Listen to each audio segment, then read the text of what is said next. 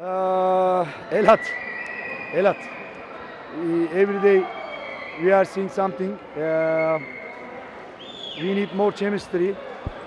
We need more take care about the team. Uh, we need aggressiveness. We need good timing. Good. Uh, yeah, we need every single de- details more. Like set the good pick, wait for the pick, box out, rebound, let the ball run. You know what I mean? We have to do all those things. Some part of the game we did well.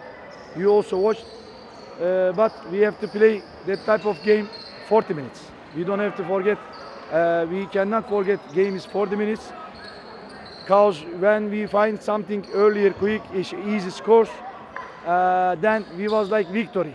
But game is 40 minutes. We gotta think like this. And this break, national team windows, uh, we will think, we will work, we will try to find uh, some solutions to change uh, our position. Thank you so much.